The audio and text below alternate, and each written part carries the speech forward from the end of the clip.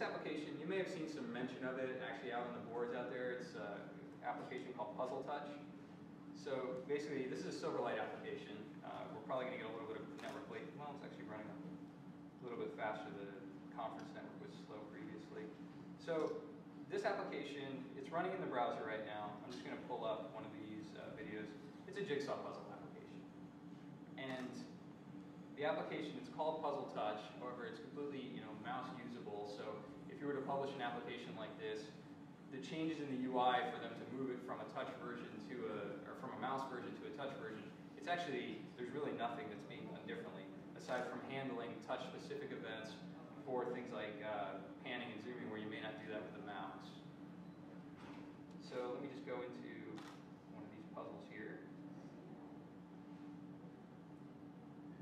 So what this app is doing is they've taken a you know, full motion video, they've sliced it into puzzle pieces, and then you can, you know, casual game where you can actually just put the puzzle together based on the video pieces. But if we look at the experience, you know, all the actions of kind of you know, moving and navigating with the pieces, this is all translated as normal mouse move events. Can you turn the video? Sure, sorry about that. There you there go. we go. I was trying to see if it's, So, uh, uh, questions on the touchscreen, the Windows 7 uh, touch is not as sensitive or responsive as the iOS. Do you know if Microsoft is doing something to improve that? so, This is very Windows 7 specific. well, what do you mean when you say it's not as, as not as sensitive? Because there's a lot of things that play into it, like most tablets previously were, you know, there's different tablet screen technologies like resistive touch versus capacitive touch. The event recording, I would imagine that from a, from a software standpoint, you would be seeing the same level of support. So, what in particular are you? Well, just like when you try to crack it, Mhm. and I've done it myself too. Yeah. See, it has a little bit of delay.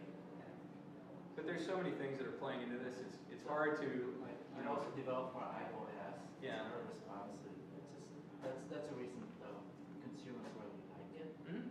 It's like almost zero time. You're talking about the latency between Latency, something, latency. right?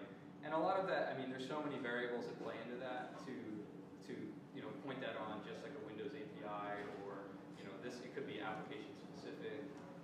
It's I, I I'm not going to put something on the, on there to say that Microsoft's implementation of Touch is better or worse than iOS's implementation. Um, if you notice, uh, instead of in this application, instead of doing, you know, because it was originally a mouse-based application, they've added these uh, handles on the side for rotation. So, as a user uses the mouse, they can still navigate the application just fine. For a touch user, you know, you have this direct manipulation, and you know, you get a much better experience without having to add any additional development time. They've also introduced, you know, controls to the side for zoom, so that as a mouse user, you know, you can use your scroll wheel to zoom in and out, or as a touch user, you can scroll here.